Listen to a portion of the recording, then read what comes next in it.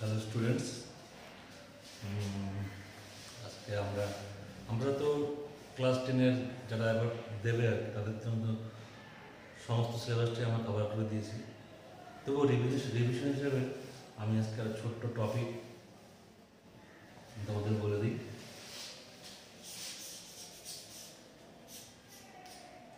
Class ten হচ্ছে Ohm's ল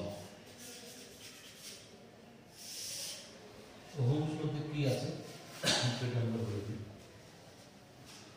ohm কি বলেছে বলেছে একটা পরিবাহী ধরে একটা পরিবাহী এটা হচ্ছে এ প্রান্ত, এটা হলো বি প্রান্ত। এই এ প্রান্তের বিভব ধরো ভি এ বি প্রান্তের বিভব ধরো ভিবি।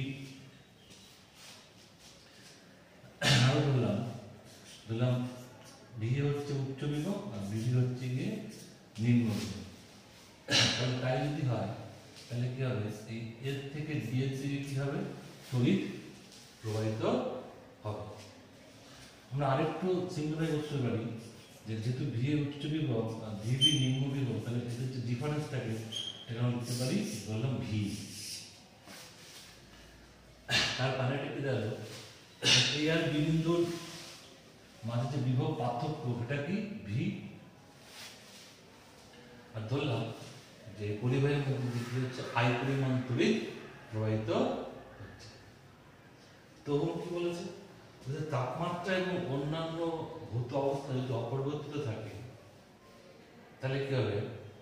একটা পরিবাহের মধ্যে দিয়ে প্রবাহিত তড়িৎ প্রবাহ মাত্রা তার দুই প্রান্তের বিভব পার্থক্যের সমানুপাতিক আবার বলি, কি বলেছে? কোনো পরিবাহী তাপমাত্রা এবং অন্যান্য ভৌত অবস্থা যদি অপরিবর্তিত থাকে, তাহলে ওই পরিবাহের মধ্যে ওই পরিবাহীর দুই প্রান্তে বিভব পার্থক্যের সমানুপাতিক মানে কি বলেছে? ওহম বলেছে, ভি সমানুপাতিক সরি আই সমানুপাতিক, ভি। কখন? যখন কি হবে? তাপমাত্রা ও অন্যান্য ভৌত অবস্থা কি হবে অপরিবর্তিত থাকবে যদি তাপমাত্রা অন্যান্য ভৌত অবস্থা অপরিবর্তিত থাকে, তাহলে এই পরিবাহের মধ্যে দিয়ে প্রবাহিত প্রবাহ মাত্রা সেই পরিবাহের দুই প্রান্তে বিভব পার্থক্যের সমানুপাতিক। তাহলে আমরা এখানে লিখতে পারি, কি লিখতে পারি? আই সমান সমান জি ইন্টু ভি যেটা কি? যেটা হচ্ছে সমানুপাতিক ধ্রুবক।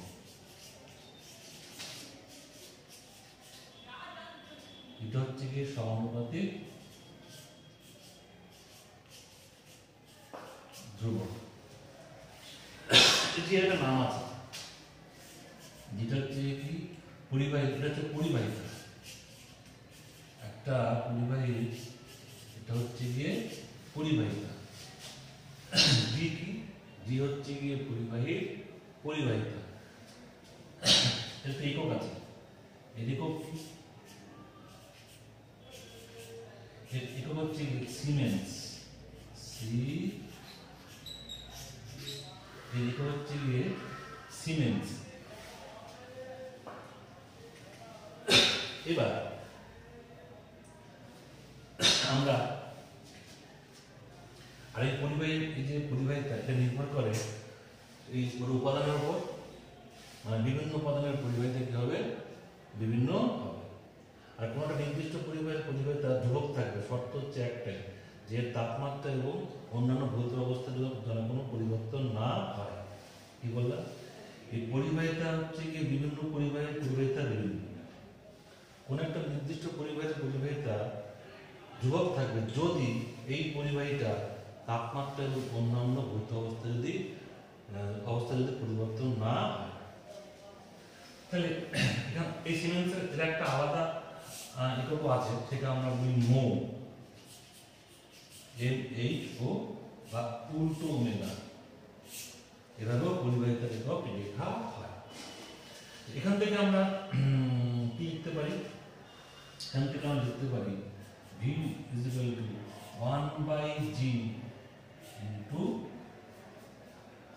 one by G into R V is to one by G এটাকে আমার সময় লেখা হয় কি আর ইন্টু আর এই আটটা কি? এই আটটা হলো যে কি? One by G.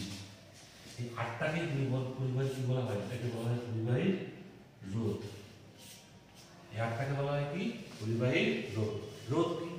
কোনো একটা পরিবাহীর মুক্তি দিয়ে তড়িৎ প্রবাহ মাত্রা গেলে সে বাধা দেয়। সেই যে বাধাটা দেয় সেই বাধাটাকে আমরা বলি হচ্ছে গিয়ে পরিবাহী রোধ। পরিবাহীর মধ্যে দিয়ে তড়িৎ প্রবাহিত হতে গেলে পরিবাহী তাকে বাধা দেবে। সেই বাধাটাকেই আমরা সহজ সরল ভাষায় বলি হচ্ছে গিয়ে কি? এই যে রোধ এই রোধের একটা একক আছে। এর একক কি? একক হচ্ছে গিয়ে ওহম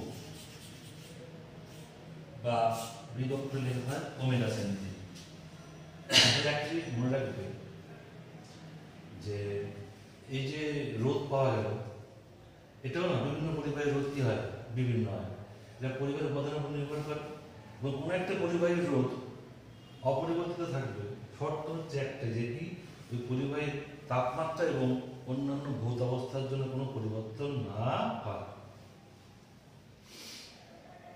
তাহলে ওটার মধ্যে এটাই হলো গিয়ে তোমাদের ওহম তোমরা একটু বাড়িতে